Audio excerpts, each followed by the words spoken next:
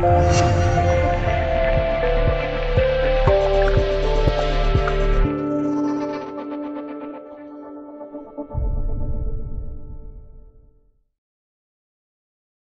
国共和党参议员兰德·保罗向俄政府转交特朗普信件。图源：美媒海外网八月九日电，美国共和党参议员兰德·保罗八日晚间发布推文称，他已向俄罗斯政府转交了美国总统特朗普的信件。不过，对于信件属性，白宫与保罗的说法不一。综合美国有线电视新闻网、CNN、路透社等外媒报道。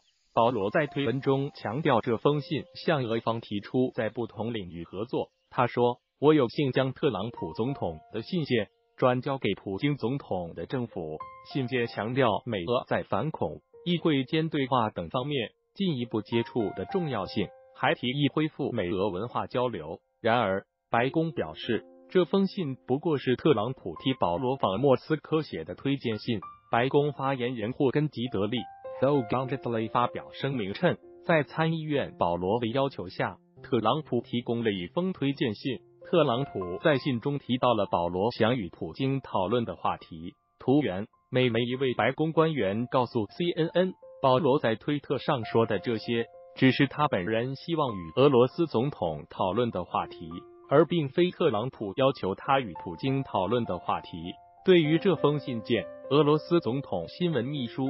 佩斯科夫八日表示，美国总统特朗普给普京写的信已经通过外交手段递交至俄方，但是克里姆林宫目前还没有阅读。佩斯科夫表示，确实，我们已经从外交渠道获得信件。他还说，预计总统办公厅近期将拿的信件。据悉，保罗于八月五日至八日随美国国会代表团访俄，并同俄方议员就改善双边关系。的一系列问题举行会晤，这是近一个多月来第二次在莫斯科举行类似级别会谈。美国议员代表团六月底七月初曾访问过俄罗斯。保罗六日在莫斯科说，美俄间急需展开对话，美方已邀请俄议员访问华盛顿。他还表示将反对美国对俄罗斯实施新制裁。